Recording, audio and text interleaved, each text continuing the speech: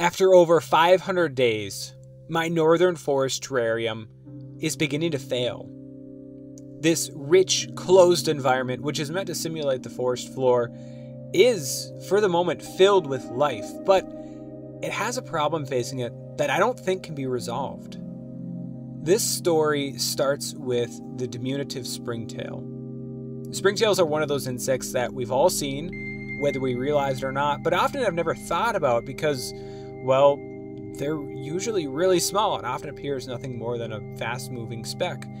When this terrarium began, springtails were fairly uncommon. On a given day, I might spot a few crawling around, but that was it.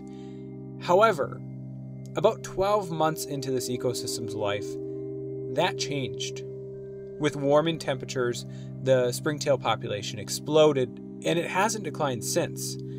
That was exciting for me. These cute little creatures filled the terrain with movement and life, but that should have been my first warning sign. See, springtails are primarily detrivores. They feed on dead stuff dead moss, dead leaves, dead fungus, and yes, dead bugs. They've earned the reputation of being a cleanup crew of sorts, an essential part of any closed terrarium. But, like in any ecosystem, th- their population has to be kept in check. But so far, it hasn't been. See, this environment only has two natural predators. The first is the centipede. Centipedes are a common predator for springtails. Here's a shot from a while back of a large centipede catching and running off with a fully grown springtail. But I haven't seen any of those large centipedes lately, only juveniles. And I have no doubt that the juveniles are finding food for themselves. They're finding a way to survive. And in fact, I just witnessed one recently that had caught and killed a springtail. But their numbers evidently haven't been able to keep up with the increase in springtail populations. And that's also true for the rove beetle, another predator in this environment. So, no big deal, right? After all, the springtail isn't hurting anything inside, right? Well, that's true. But the explosive growth of the springtail population has been but a canary in the coal mine, a, a harbinger of things to come. In the last few months, the population of other macroinvertebrates has also exploded.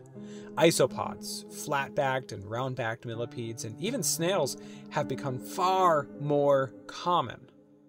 I've personally witnessed juvenile examples of each of these animals, so I know that they are breeding and they're breeding quickly. And at this point, it's far beyond what the centipede population can keep up with. See, like I said, I haven't seen any of the large centipedes in here in quite a while, and that leads me to believe that, for whatever reason, they died. That means that as these other invertebrates grow, most are well above the size any of these juvenile centipedes could manage to kill. Just like in this shot, the centipede is on the hunt, no doubt, but it knows its limitations and that the millipede is too large or too well protected for it to attempt to kill. And I can hear you saying, what's the issue here? More bugs makes for a more lively environment. What's the problem? And at this point, the problem is a problem of food.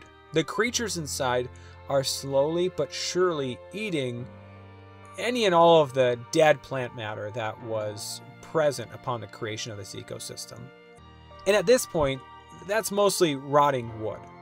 But these animals, like the isopods and millipedes, they prefer to not live on dead wood alone, and most of the dead plants are, well, non existent because they've already been consumed. This means that, at an alarming pace, the creatures inside are turning to live plants, such as this moss, as a source of food.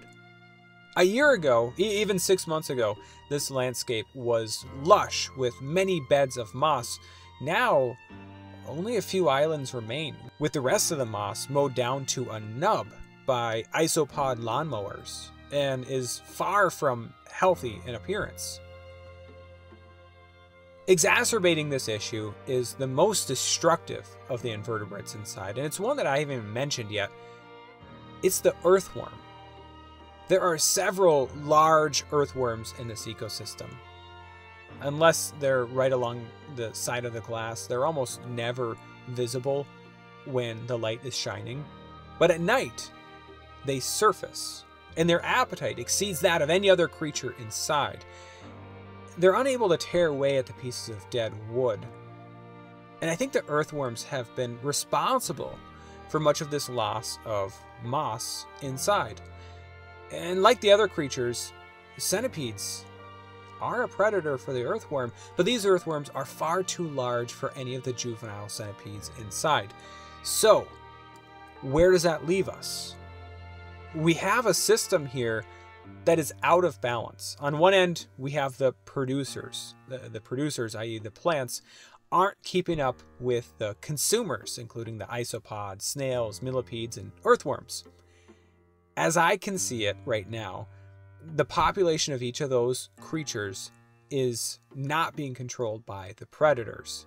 And as a population of those creatures grow and new generations are born, this ecosystem will reach a tipping point, at which time there will be little to no plant matter alive, and much of these terrestrial creatures will starve. It might not be the end of life entirely in this terrarium, but it'll hardly be a terrarium worth looking at. It's a bleak outlook. But maybe I'm wrong. One of the few success stories as far as plants go has been this large plant here. For the first year in this terrarium, it showed very little net growth. Some leaves would grow, they'd get eaten, but in the end, it was about the same size. But in the past few months, it has exploded in size, offering a food source that might be able to keep up with the growing number of consumers. Much of the previously lush beds of moss are shrinking, but new micro beds of moss have begun to sprout on other surfaces that were previously moss free, and if given a chance to grow, these could be the beginnings of new moss fields that will sustain future generations of these creatures inside. And if these plants can keep up with this population growth for, let's say, another six months, that could give the predators, especially the centipedes, a chance to grow up and to create new generations of their own, bringing balance to this closed off world. Let me know in the comment section if you think this terrarium has a chance or do you think it will soon begin to die a slow and sad death? And if you're looking for a terrarium that's richer in predators, if rove beetles and uh, centipedes are sort of boring to you, check out this new one that I just created recently. It is filled to the brim with a plethora of fearsome spiders, and I'm really excited to see how it plays out in the coming months and coming years. Take care, and I'll see you next time.